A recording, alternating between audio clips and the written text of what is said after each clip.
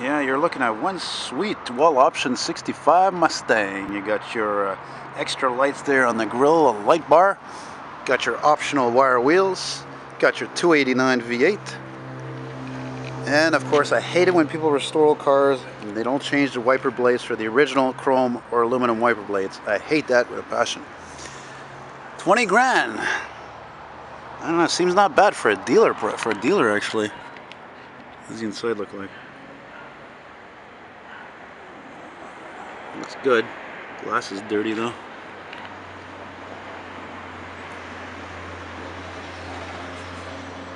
Yeah, right on.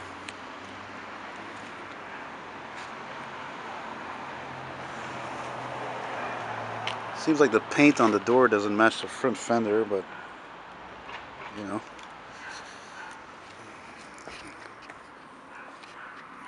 Ooh, yeah, nice exhaust tips.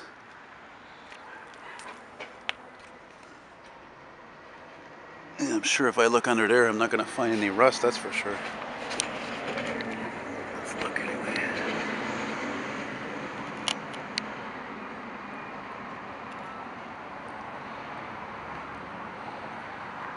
Tires. Nice, uh, nice straight, clean body. Yeah. That's the name of the dealer here in uh, Montreal in the western part. Premier Auto. This guy's been here for many years. He's got a couple of old cars there.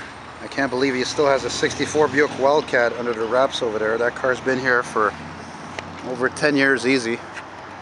You know.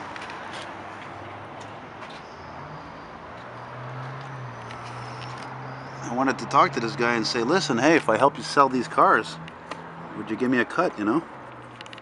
Why the hell not? Sweet, yeah, sweet ride. You know, I've never been a fan of white, but you know, hey, a Mustang could look good in almost any color for that matter. So, and next I'm gonna go look at that 67 Oldsmobile 98. Let's get a better view here.